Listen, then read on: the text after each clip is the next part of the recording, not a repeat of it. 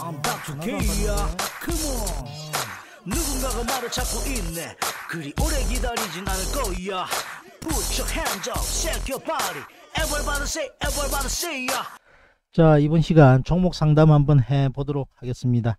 자, TNL 먼저 한번 챙겨 보도록 하죠. TNL을 85,000원 85,000원 맞아요?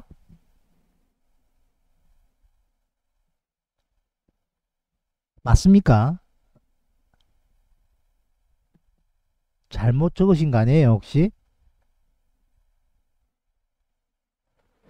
85,000원이 없는데요.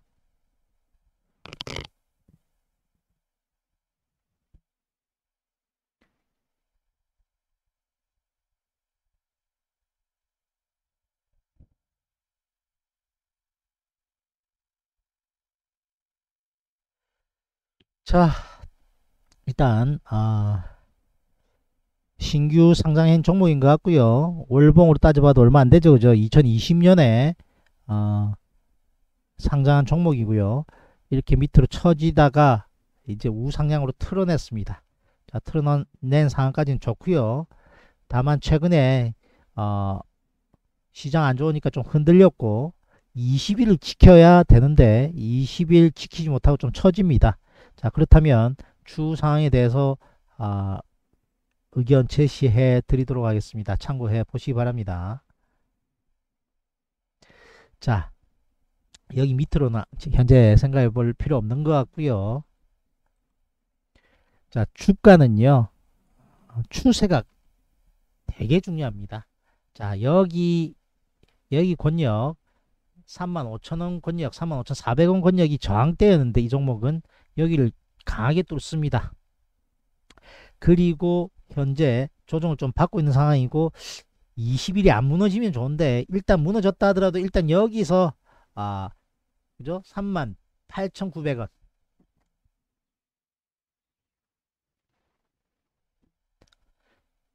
여기 38,900원 정도만 지지한다면 다시 한번 반등을 노릴 수 있는 상황이고요. 자, 더 좋기로는 이렇게 강하게 다시 치고 올라가야 좋습니다.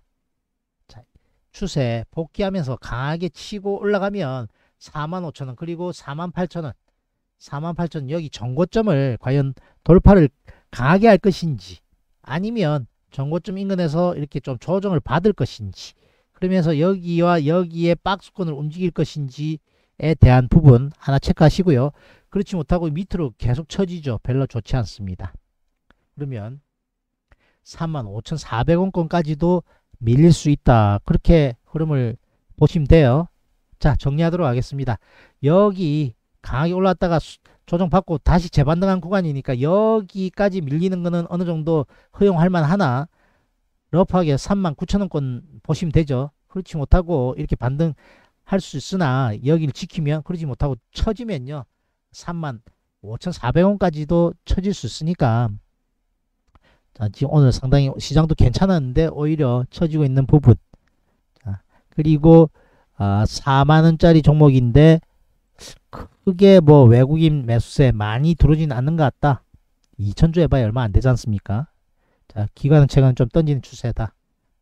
자 그렇게 정리하도록 하겠습니다. 단기 강, 강한 추세는 좀 무너지고 있는 상황이다. 추가로 하락하지 않기를 어, 기대하면서 챙겨 보시기 바랍니다. 그 다음 상황 자, 그 다음 쿠콘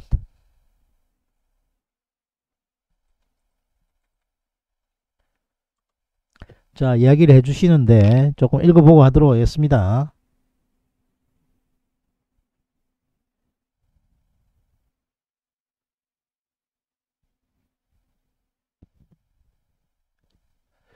자, 쿠콘은 7만원.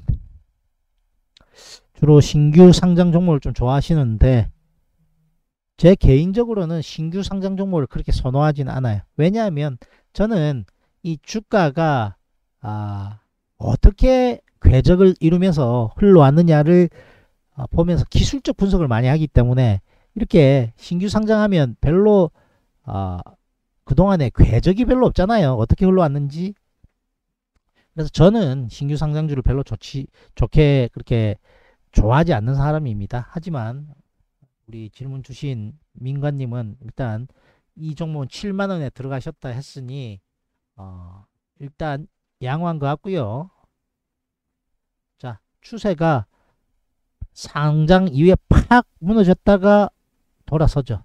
일단 양호한 흐름으로 가는 겁니다. 자 아까하고 맥락이 똑같아요. 이렇게 우상향 계속 아, 지속 되는지 여부 체크, 체크해 보셔야 되는데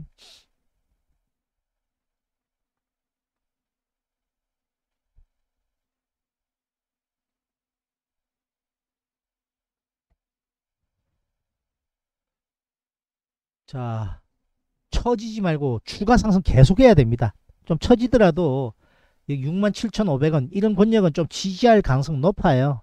그죠? 이렇게 추세를 딱 형성하면서 가고 있기 때문에 아, 20일 인근 이런 구간은 어, 지지할 가능성 높으나 여기까지 내려오면 또 손실 구간 아닙니까? 추가 상승할 때 여기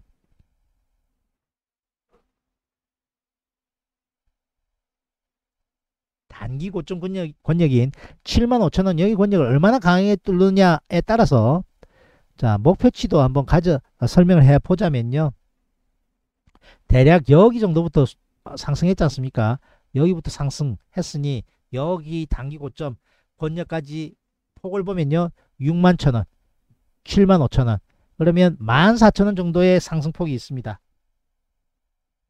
14,000원 정도 상승폭이니까 여기서 재반등하죠. 14,000원 더 하면 됩니다. 66,000원에서. 그러면 아, 8만 원입니다. 8만 원 정도까지 한번 노려볼 수 있는 아, 그런 추세 좋게 가고 있는 상황이네요.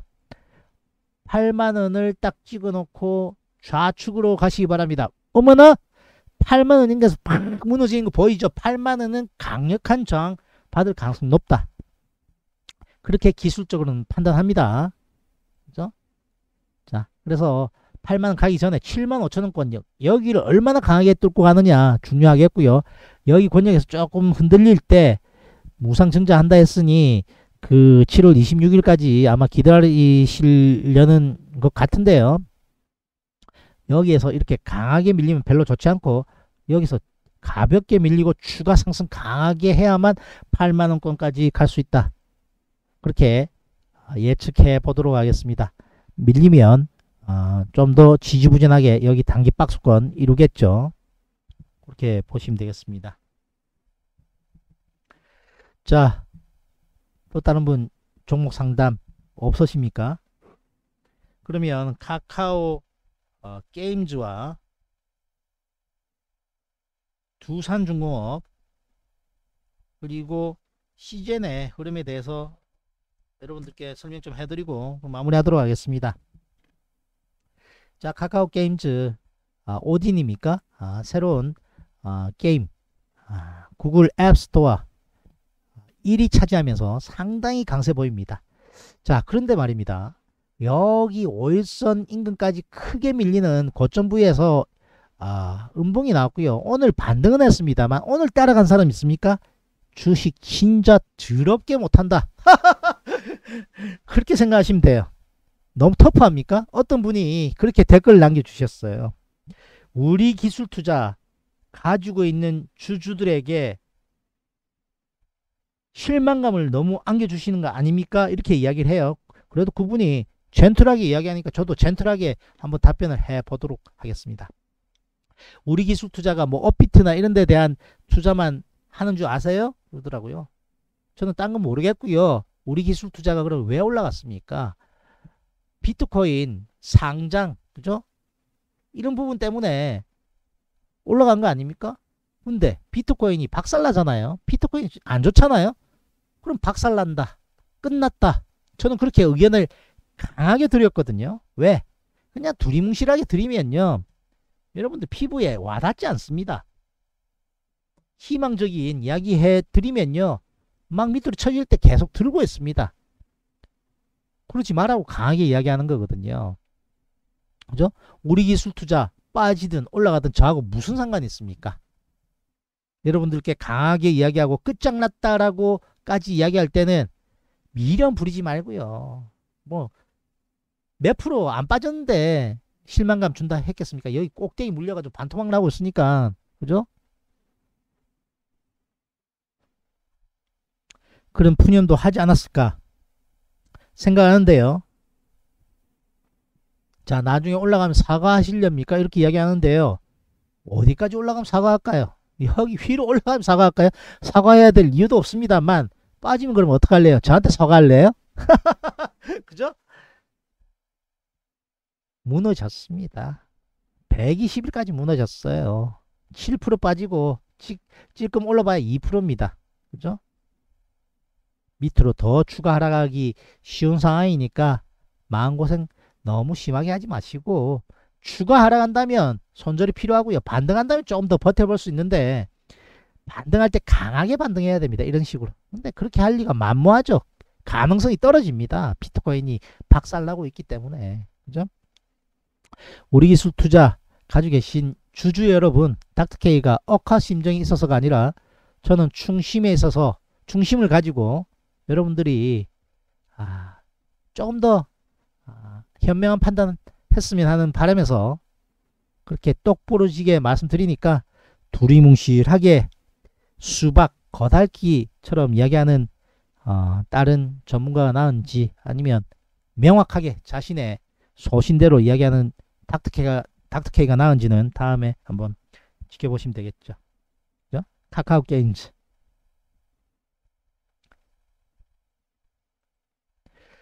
자 이격이 엄청나요. 그리고 고점 부에서 음봉 떨어지죠. 오늘 반등했으나 여기서 덜렁 사면 절대 되지 않습니다. 추가 하락이 훨씬 더 정상적인 겁니다. 그죠?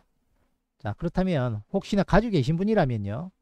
자, 여기 8만원대 무너지면 좋지 않습니다. 이제 여러분들이 주식을 조금이라도 공부를 해본 분이라면 이거 이격이 너무 크다는 거 알, 알 수 있습니다. 여기 이격이 크면 어떻게 된다? 좁히러 오는 거거든요. 뭐처럼? 뭐처럼? 끝도 없이 갈 것처럼 보였던 두산중공업처럼 이렇게 끝도 없이 갈 것처럼 보였던 두산중공업처럼 며칠만 30%씩 빠지는 이격을 좁히러 온다고 이렇게. 자 여기 여기로 가보죠. 그죠? 와 이격이 크잖아. 좁히러 온다니까. 그러나 지금 현재 두산중공업은 그나마 그나마 고점 부에서 이렇게 잘 놀고 있으니까 다행이긴 한데요. 이렇게 고점 부에서 음봉 떨어질 때 차익 실현하고 다시 지지할 때 적당하니 추, 아, 팔아먹었던 거 추가한다든지 하면 30% 세이브 되는 거거든요. 그죠? 고점부에서 따라가는 거는 신규 매수는 되지 않는다. 되지 않는다. 그렇게 말씀드리겠습니다. 자, 시젠. 시젠 말씀드려 볼게요. 시젠이 자, 이렇게 단기적인 하락 돌파는 20일 돌파는 양봉 섰어요. 그리고 추가로 강하게 뚫어버립니다. 그리고 왔다 갔다 왔다 갔다 이제 어, 지금 숨고르기 하고 있는데요. 자 물론 델타 변이 바이러스 때문에 코로나 확산세 갑자기 아, 급격하게 늘어나니까 진단 키트에 대한 수요 내지는 이슈 때문에 강하게 올라갔어요. 근데 좀 처집니다. 한 8만 원대 정도 오면요.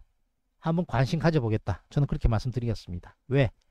그 이야기 벌써 이전부터 했어요. 그죠? 강하게 올라탔고 다지는 기간이 필요하다. 그렇게 말씀드렸습니다. 물론 단타 이렇게 여기 여기서 매수 여기서 매도 이렇게 240일 한꺼번에 넘어가기 힘들 거거든요. 단기 박스권 구간입니다. 그렇게 예측하고 있어요. 이렇게 단기 박스권 구간입니다. 여기 밑으로도 쉽게 깨고 내려가기가 쉽지 않을 겁니다. 왜? 그렇게 하려면 이렇게 강하게 못, 못 뛰어넘거든요. 그렇죠? 그러면 이제 한 8만원권 정도 오면 한번 슬쩍 들이대 보겠다. 그런 시나리오를 가지고 있으니까요. 여러분들도 한번 참고해 보시고 어, 시젠 옛날 상황을 한번 보십시오. 강하게 올라갔고 조정을 제법 받았거든요. 그리고 다시 재반등합니다. 자, 그렇기 때문에 어, 지금 구간 지금 구간 조금 더 한 번 더 쳐지면 반등 나오는 이 박스권 매매 정도는 할 수 있지 않을까 그렇게 한번 예측해 보도록 하겠습니다. 자, 종목 상담 한번 해봤고요. 자, 셀트리온에 대해서도 한번 언급하고 어, 마무리하겠습니다. 자, 셀트리온 여러분들 아, 상당히 지지부진하게 아, 움직이고 있는데요. 추세가 좋지 않습니다. 셀트리온 삼형제 중에서는 셀트리온 헬스케어, 셀트리온 제약, 셀트리온 제약이 가장 좋다 그랬습니다. 셀트리온 제약이 조정받을 때 만 15만 4천원권 내지는 전 내일부터 조정받으면 적당히 이렇게 사 들어간 거 별로 무리 없다 생각합니다. 자 아까 시젠이나 아, 돌려내는 이런 종목들의 패턴과 거의 비슷해요. 한번 볼까요? 뿅 돌려내고 왔다 갔다 왔다 갔다 그죠?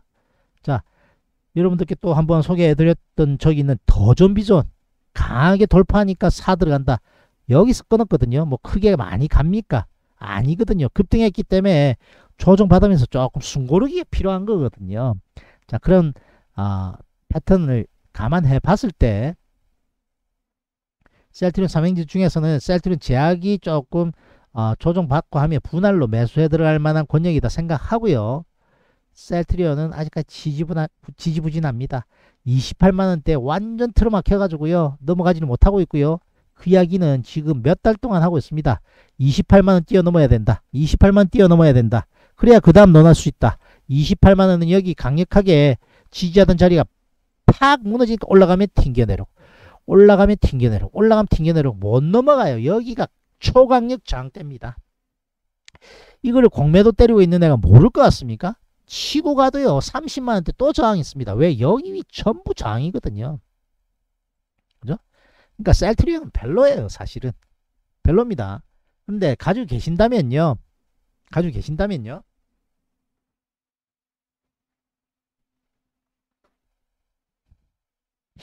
(28만원대를) 얼마나 강하게 돌파하는지가 중요하다. (28만원이) 핵심 가격대입니다. 자 추가로 밀리면 진짜 좋지 않고요. 빨리 강하게 장대 양봉 세우면서 반등 시도해내야만 아, 그 다음을 논할 수 있다. 그렇게 말씀드리겠습니다 자 추세. 무시하시면 안 된다. 이렇게 우상향할 때 셀트리온이 끝내 좋지 이렇게 꼬꾸라지는 우하향일 때는 별로 좋지 않습니다. 자너 돌아설 수 있다 그랬지 않았니? 그렇습니다. 그죠? 셀트리온 헬스케어 12만원대 돌아설 수 있는 모양이다 그랬는데 실패입니다 실패. 실패예요. 그죠? 셀트리온 제약은 성공이에요 성공. 그죠 그렇게 명확하게 의견도 제시했고 예전에 했던 의견에 대해서 어, 발뺌 같은 거 하지 않습니다. 앞으로도 계속 업데이트 어, 주가 흐름에 대해서 계속 해 나갈 테니까요.